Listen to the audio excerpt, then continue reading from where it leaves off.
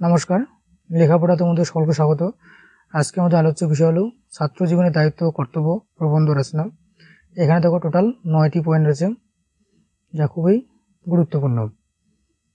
এবং কি সহজ সরল ভাষায় এটি লেখা রয়েছে। তো চলো শুরু করি। তো দেখো, প্রথম যে পয়েন্ট রয়েছে, সেটা কি? ভূমিকা। মানুষ জ্ঞান আহরণের উদ্দেশ্যে প্রতিষ্ঠানে গিয়ে জীবনে যে মূল্যবান সময় ব্যয় করে থাকে এক কথা তাকে বলে কি ছাত্র জীবন ছাত্র জীবনের প্রস্তুতি প্রস্তুতি গ্রহণের হলো সময়। এই সময়টিকে জীবনে উজ্জ্বলতম সময় হিসেবে বিবেচনা করা হয়ে থাকে। আর ছাত্র জীবনে একটি সফল জীবনের বীজ বপনের সময় বলে এই সময়টি রয়েছে বিশেষ তাৎপর্য। এটি কি? ভূমিকা। এরপরে দেখো, পরের পয়েন্টে কি রয়েছে? ছাত্রছাত্রীদের দায়িত্ব কর্তব্য। মানব জাতির সামাজিক নিয়ম নীতি মেনে চলে।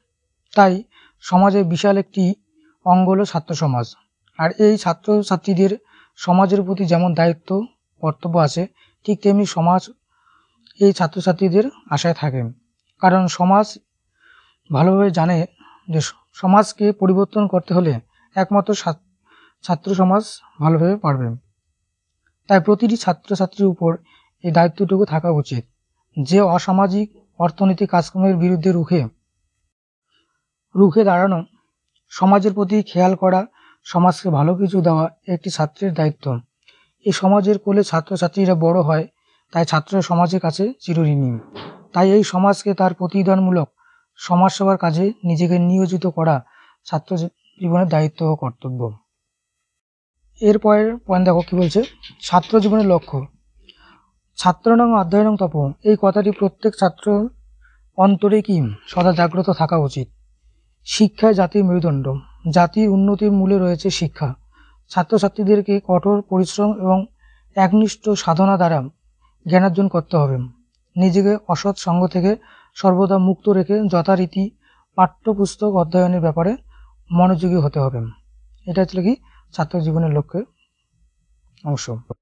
এরপরে পয়েন্ট বলছে? দেশাত্মবোধ। ছাত্ররা দেশপ্রেমকে তাদের অন্তরে লালিত করে। তারা দেশপ্রেম উদ্বুদ্ধ হয়ে নিজের জীবন পর্যন্ত বাজি রাখতে পারে দ্বিধাহীনভাবে। ছাত্রদের দেশের ইতিহাস ও ঐতিহ্য সম্পর্কে সম্যক ধারণা থাকায় তারা দেশকে আরও বেশি আপন করে নিতে পারে। ছাত্র সমাজ মানে তরুণ সমাজ। প্রাণ প্রাচুর্যে ভরপুর এই তরুণ সমাজকে দেশের ও দেশের মানুষের সেবায় মগ্ন থাকতে হবে। এটা হচ্ছে কি? দেশাত্মবোধ। এরপরে পয়েন্টটি দেখো। স্বাস্থ্য রক্ষা ছাত্র জীবন। স্বাস্থ্যই হলো সম্পদ। আর এই সম্পদ রক্ষা করা প্রতিটি ছাত্রছাত্রীদের দায়িত্ব, কর্তব্য। বৌদ্ধ ধর্মে ধর্মগুরু বুদ্ধদেব বলেছেন, শরীরকে সুস্বাস্থ্যের মধ্যে রাখা একটি কর্তব্য। অন্যথায় আমরা আমাদের মনকে শক্তিশালী এবং পরিষ্কার রাখতে সক্ষম হব না। আমার মনে হয়, কেউ অন্য কাজের জন্য নিজেকে স্বাস্থ্যকে বিসর্জন দিয়ে দেয়, তার মতো মূর্খ দ্বিতীয় আর নেই। তাই স্বাস্থ্য রক্ষায় আমাদের কি? ধ্যান দিতে হবে। এরপরে দেখো, সমাজ সচেতনতা। একজন ছাত্রকে সমাজ সচেতন হতে হবে। ছাত্র যদি তার দেশ, কাল, সমাজ সম্পর্কে সচেতন না হয়, তাহলে তার দ্বারা সমাজের হিত কাজ অসম্ভব। সমাজ ও রাষ্ট্রীয় জীবনে কোনো অন্যায়, অনাচার, দুর্নীতি যদি প্রকট আকার ধারণ করে, তখন ছাত্রদের বসে থাকলে চলবে না। এর প্রতিকার প্রতিরোধের জন্য সোচ্চার প্রতিবাদ করা ছাত্রদের দায়িত্ব। ছাত্র ছাত্র সমাজের ঐক্যবদ্ধ প্রচেষ্টায় সমাজ ও সংসারে কুসংস্কার দূরভূত হয়। অন্যায়, অবিচার তিরোহিত হয়ে একটি সুন্দর সমাজ বিনির্মাণ হতে পারে। তাই ছাত্র জীবন হতে হবে দেশ, কাল ও সমাজ সচেতন ও সমাজ হিতৈষী দেখো, এরপরে পয়েন্টটি হচ্ছে কি? পিতামাতা ও গুরুজন গুরুজনদের প্রতি কর্তব্য। পিতামাতা ও গুরুজনদের প্রতি যথাযথ সম্মান প্রদর্শন করা ছাত্রদের একটি গুরুত্বপূর্ণ দায়িত্ব। শ্রদ্ধা জ্ঞাপনের মনোভাব তাদের নৈতিক দিক থেকে আদর্শবান করে তোলে। গুরুজনদের আদর্শ আদেশ নিষেধ মেনে না চললে জীবনের উন্নতি অসম্ভব। তাই তাদের দিক নির্দেশনা যথাযথ পালনে ছাত্রদের প্রতি হতে হবে। পিতামাতা ও গুরুজনদের প্রতি সম্মান ও কর্তব্য সম্পাদনের মধ্য দিয়ে ছাত্ররা শিষ্টাচার ও চর্চার সুযোগও লাভ করে। এটা হচ্ছে কি? পিতামাতা ও গুরুজনদের প্রতি কর্তব্য।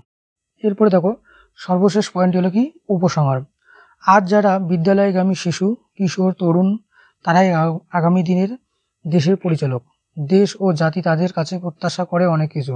তাই ছাত্র জীবনের দায়িত্ব ও কর্তব্য সম্পর্কে সচেতন হয়ে ছাত্রদেরই হতে হবে অগ্রণী। তাদের হাতেই দেশের ভবিষ্যৎ। এটা হচ্ছে কি উপসংহার? তো আশা করি সমস্ত ভিডিওটি বা প্রবন্ধ রচনাটি আমাদের ভালো লেগেছে। যদি ভালো লেগে থাকে অবশ্যই তোমাকে লাইক শেয়ার এবং কি সাবস্ক্রাইব করবে। যাতে তোমরা এরকম নতুন নতুন ভিডিও পেতে পারো। এবং ভিডিওটি শেষ পর্যন্ত দেখার জন্য ধন্যবাদ।